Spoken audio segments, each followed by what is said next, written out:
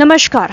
स्वागत है आपका इंडिया न्यूज़ 28 में। आइए बात करते हैं उत्तर प्रदेश की कुछ खास खबरों की। मथुरा में धान लोड करके बेचने वाले आरोपी गिरफ़्तार।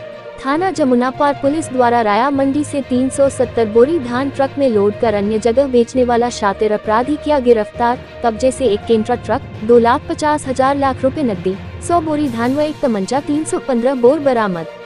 मुखबिर की सूचना पर 22 दिसंबर 2023 को थाना जमुना पार मथुरा से संबंधित अभियुक्त सोनू उर्फ़ रंजीत, पुत्र दिगंबर उम्र करीब 36 वर्ष, पचावरी थाना सादाबाद, हाथरस हाल निवास बैकुंठ धाम सोख रोड थाना हाईवे मथुरा को एक केंट्रा ट्रक में सौ बोरी धान दो लाख पचास हज़ार रूपए व दो फर्जी नंबर प्लेट व एक अवैध तमंचा 315 बोर में दो ज़िंदा कारतूस 315 बोर के साथ बलदेव लक्ष्मी नगर रोड पर पशुपैट के पास खाली पड़ी पेट्रोल पंप थाना जमुना पार मथुरा से गिरफ़्तार किया गया।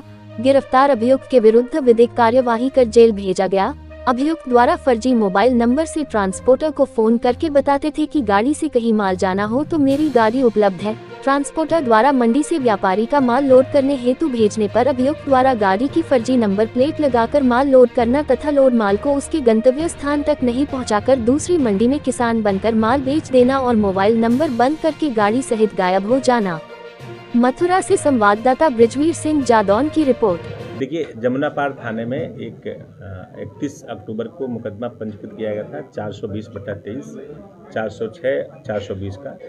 उसको पुलिस ने वर्कआउट करते हुए एक व्यक्ति को गिरफ़्तार किया है, जिसके निशादेही पर जो हमारा जो सामान गायब हुआ था, इसमें हुआ था कि एक व्यापारी हैं, आढ़त के व्यापारी हैं, उनको, उन्होंने अपना सामान हरियाणा भेजने के लिए ट्रक बुक किया था।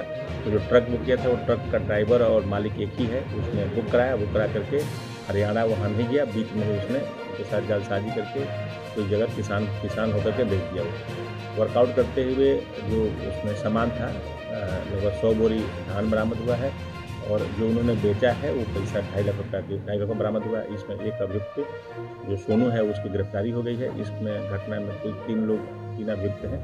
एक सोनू है, जो पकड़ा गया है, और इसका भाई है रोहित तो एक लड़का है, शेर प्रताप, जो एटा का रहने वाला है। इसमें दोनों गिरफ्तारी नहीं हुई है। जो हमारी टीम है, वो S H O Jamuna park की टीम ने इसमें गिरफ्तारी किया है।